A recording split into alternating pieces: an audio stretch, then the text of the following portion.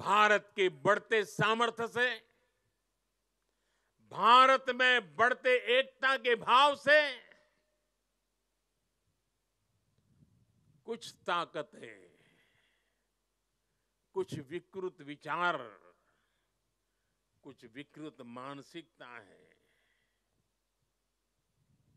कुछ ऐसी ताकतें बहुत परेशान है। भारत के भीतर और भारत के बाहर भी ऐसे लोग भारत में अस्थिरता, भारत में अराजकता फैलाने की कोशिश कर रहे हैं। वो भारत के आर्थिक हितों को चोट पहुँचाने में जुटी हैं। वो ताकतें चाहती कि दुनिया भर के निवेशकों में गलत संदेश जाए, भारत की नेगेटिव छवि उभरे। ये लोग भारत की सेनाओं तक को टारगेट करने में लगे हैं।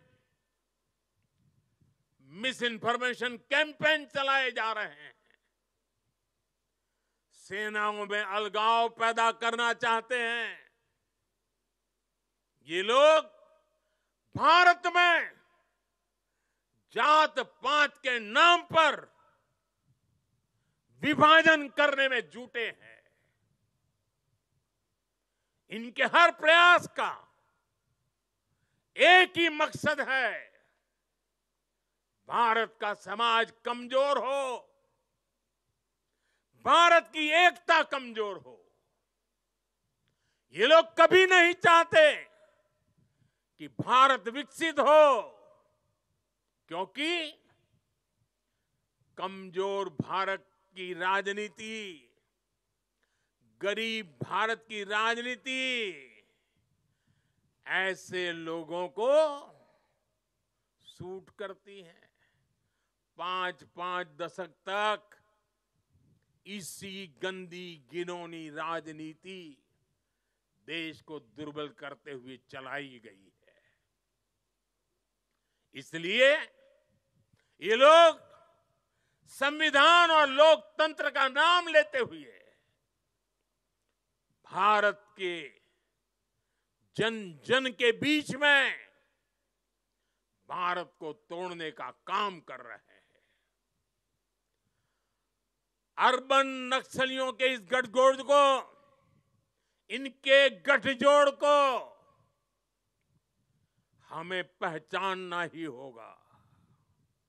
और मेरे देशवासियों, जंगलों में पनपा नक्सलवाद, बम बंदूक से आदिवासी नौजवानों को गुमराह करने वाला नक्सलवाद जैसे जैसे समाप्त होता गया, अर्बन नक्सल का नया मॉडल उभरता गया। हमें देश को तोड़ने के सपने देखने वाले, देश को बर्बाद करने के विचार को लेकर के चलने वाले, मुँह पर जूठे नकाब पहने हुए लोगों को पहचानना होगा, उनसे मुकाबला करना ही होगा। साथियों, आज हालत ये हो गई है कि आजकल एकता की बात करना तक गुनाह बना दिया गया है। एक समय था जब हम बड़े गर्व के साथ स्कूल, कॉलेज में, घर में, बाहर। सहज रूप से एकता के गीत गाते थे। जो पुराने लोग हैं, उनको पता है, हम क्या गीत गाते गाते थे। हिंद देश के निवासी सभी जन एक है। हिंद देश के निवासी सभी जन एक है। रंग, रूप, वेश, भाषा चाहे अनेक है। ये गीत गाए जाते थे। आज की तारीख में कोई ये गीत गाएगा तो उसको अरबन नक्सलों की जमात गालियाँ देने का मौका पकड़े लेगी। और आज कोई अगर कह दें कि एक है तो सेफ़ है। तो ये लोग एक है तो सेफ़ है, उसको भी गलत तरीके से परिभाषित करने में लगेंगे।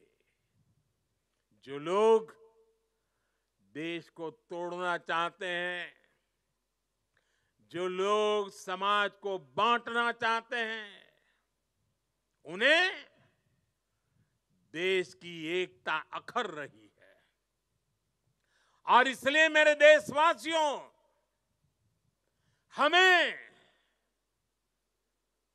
ऐसे लोगों से, ऐसी विचारों से, ऐसी प्रवृत्ति से, ऐसी वृत्ति से पहले से भी ज़्यादा सावधान होने की ज़रूरत है। हमें सावधान रहना है। साथियों, हम सब सरदार साहब को उनके विचारों को जीने वाले लोग हैं।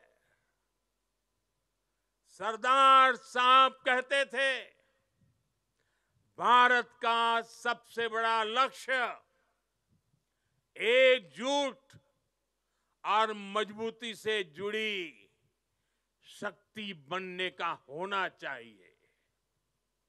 हमें याद रखना है, हिंदुस्तान विविधता वाला देश है।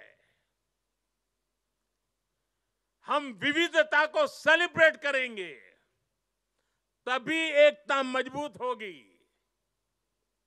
आने वाले 25 साल एकता के लिहाज से बहुत ही महत्वपूर्ण है।